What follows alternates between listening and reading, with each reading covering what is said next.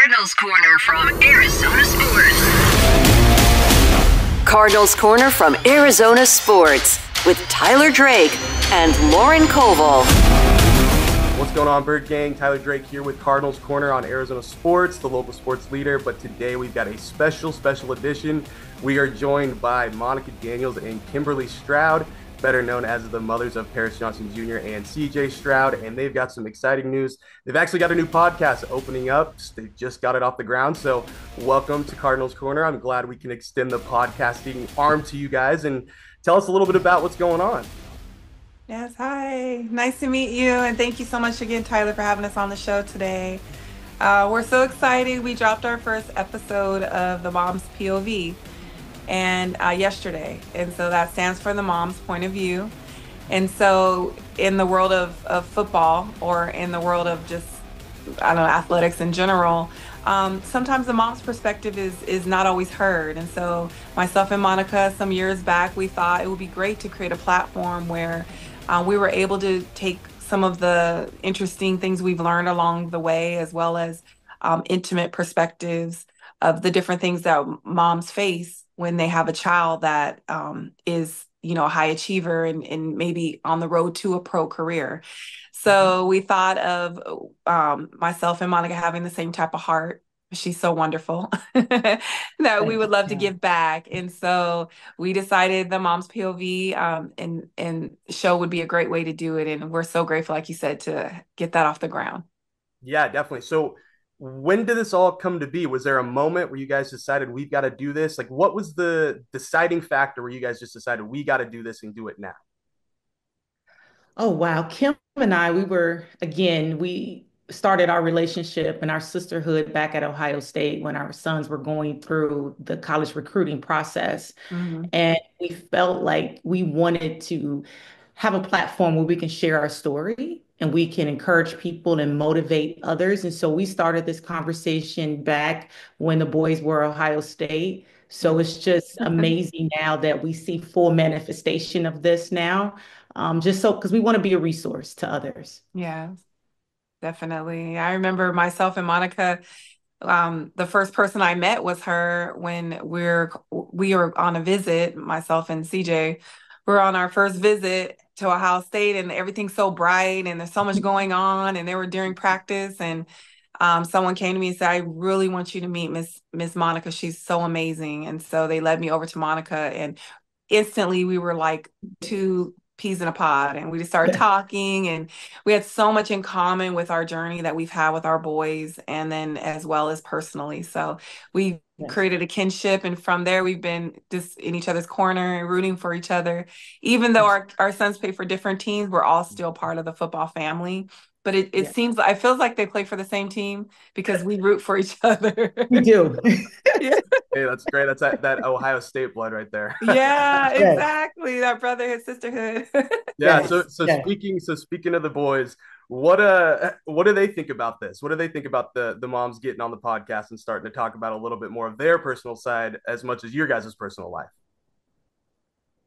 Well, I know for me, CJ, he's so excited and he loves Miss Monica. He calls her Miss Monica. and he loves her and he's like, "Mom, there's nobody else that I would rather you do that with because I feel like you guys have so much in common."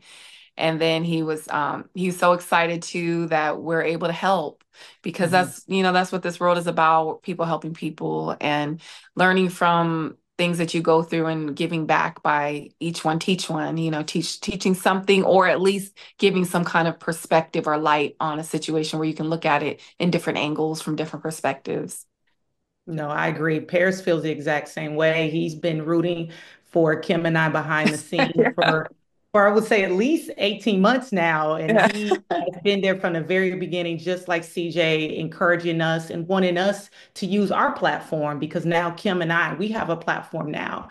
And so we want to use the platform that we have and just be a resource and encourage other amazing moms out there. And so we have the total support of both Paris and, and CJ. And so, and plus they're going to come on the show too. So at the end of the yeah. so they'll come on the show and they will allow us to interview them. And, and Paris has given us the green light and says, Hey, mom, I want you and Miss Kim to just share your story, be a blessing to people, don't hold back. you know, just share. So we're excited. Yeah, Yeah, that, definitely. that's so cool. That's so cool. Uh, I guess have they given you any any ideas of where you want to take an episode yet, or, or any pointers, or is it or is it very kind of fresh still and, and kind of still getting off the ground on that side of things? Yeah, well, I know CJ always says to me, he's like, "Mom, you're not a typical mom." And I'm like, "What do you mean?" He's like, "You're like, you know, you're you're you're like the younger side of a mom." Not saying that I am, but that's kind of what he says.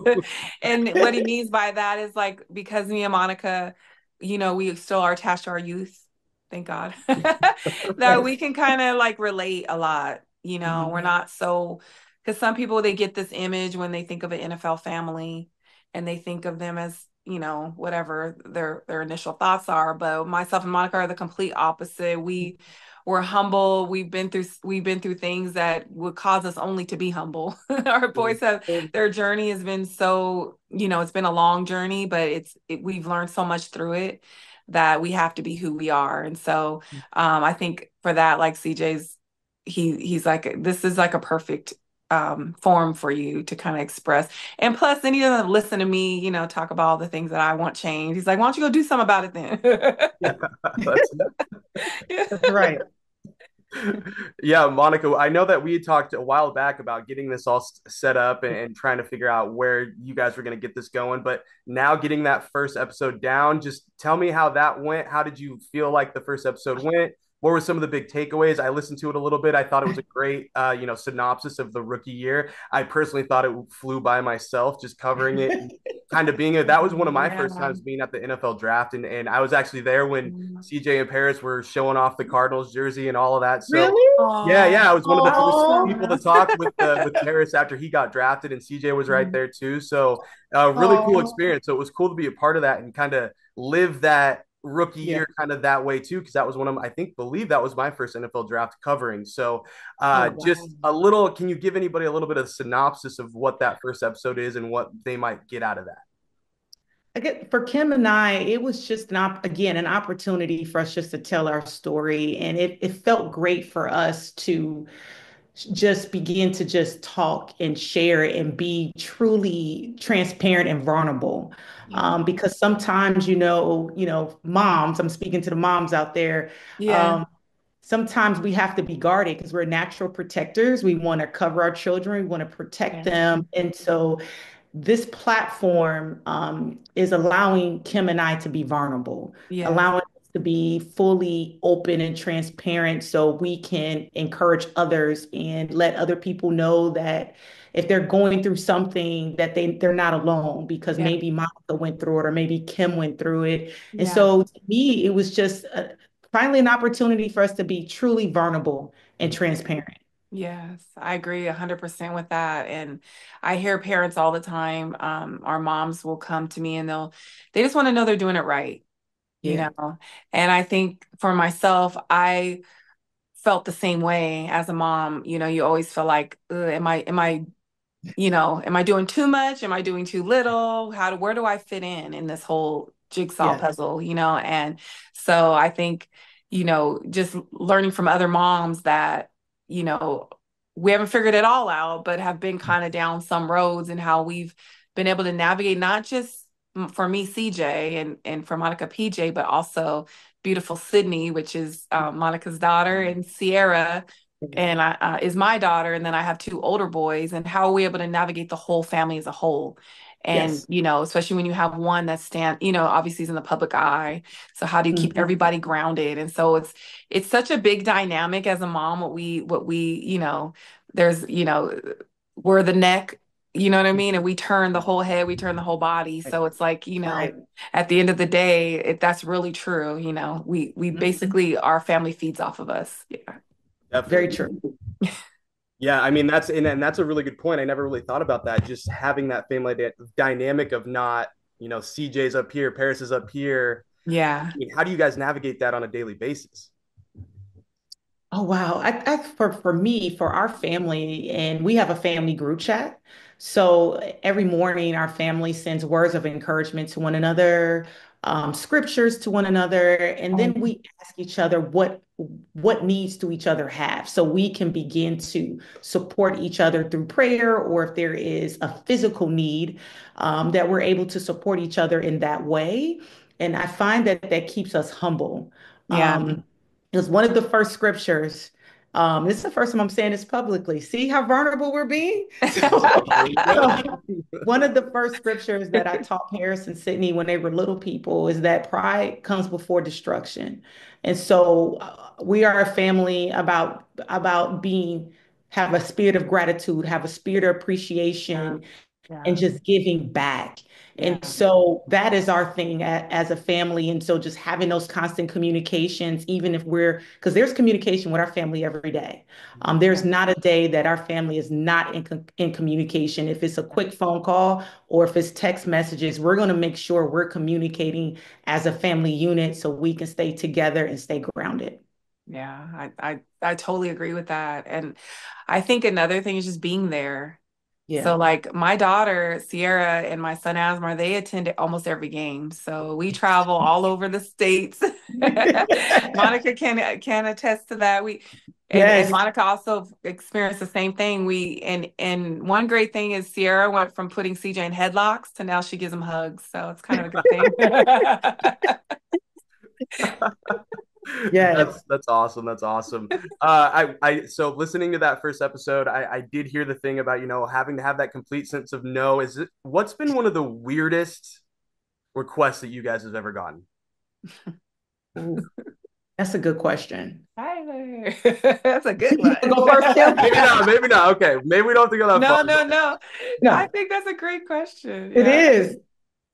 I think for me, um, I just, I think the biggest thing for me is I think people feel one, that things are easy access for us, and then Mhm. two, that we have endless money. So, Yes. so I've gotten the request of, can you, can you not only give us tickets, but can you fly us to the game? Can you pay for our Yes. hotel and just everything? And I'm like, woo! I'm like, Yeah. my son is the NFL player. I'm not. I'm just the mama. That's right. I've, I've gotten similar requests um, where people are again asking for tickets or they're asking for transportation.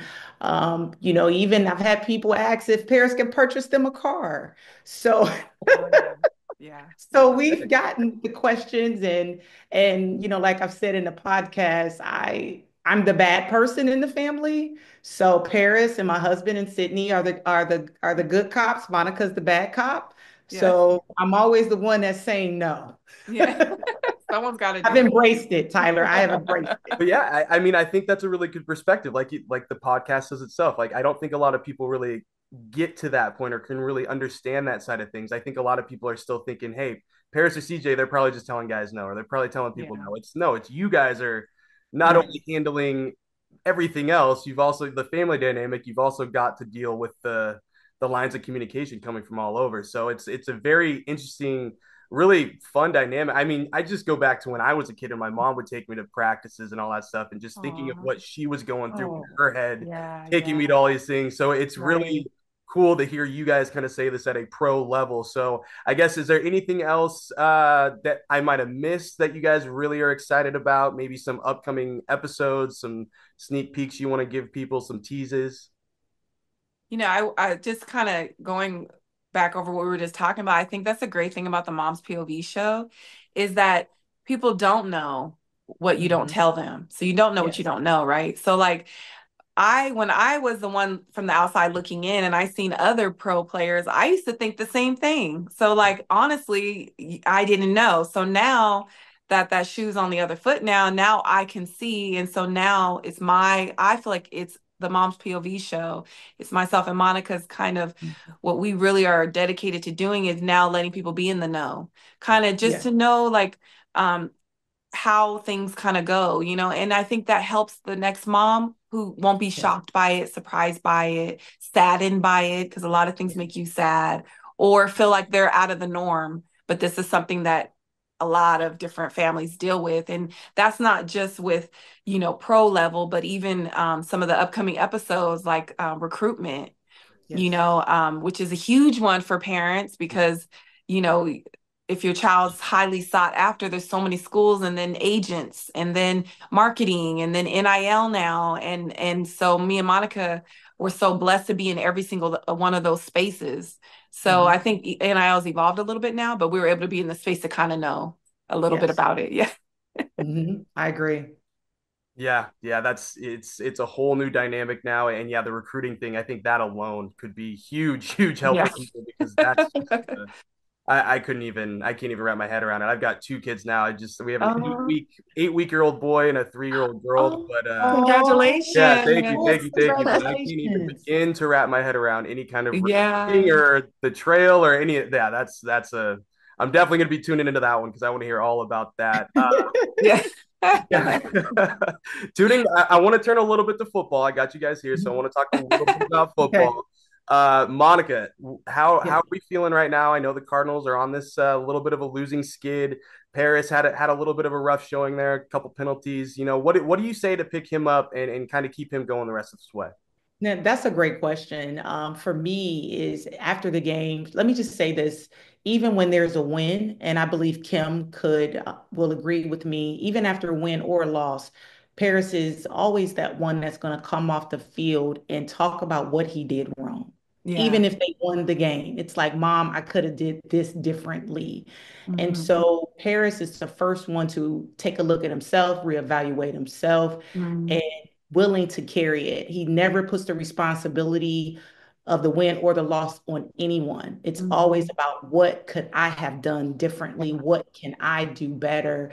Um, and my job is to number one, remind him that he is healthy. So I, yeah. I said, let's celebrate the small victories. Yes. able to walk off the field. Yeah. And then the second thing is, is that I remind him that it's a team sport. And especially when you're playing offensive line. Which is one of the unique positions, is if it's one person on a line, they it's off, everything is off. Yeah. And so all five have to function as one right. unit. Yeah. One unit and they have to be in sync they have to be in rhythm and so just being there to support him through that and reminding him it doesn't matter if they win if they lose his mama loves him his mom's going to rock with the Cardinals. It doesn't matter. yeah. So Cardinals going to always have a special place in his mama's heart. So, so yeah. just reminding him we're in this thing together and just celebrate the victories. Look at what you need to reevaluate and make those adjustments, put them in your toolbox and start all over again tomorrow. Amen.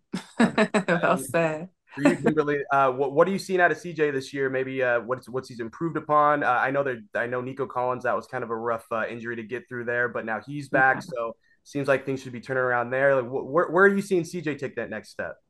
Yeah, you know, something for me, Tyler, is I had to realize this is my son's career now. Mm-hmm. So it's mm-hmm. not college anymore. Where at college, I was like, okay, three, four years, we're out of here. Yeah. but now, you know, the Texas Texans and Houston and football there. This is our home now, and this is my son's career. So it's kind of like I always try to help help people understand. Like when we go to work, you know, um, every day isn't where your boss is like, "You did such a great job," and everything was so great today. There's days where you could have did better. Maybe something didn't go, the a deal didn't close, or something didn't go so well.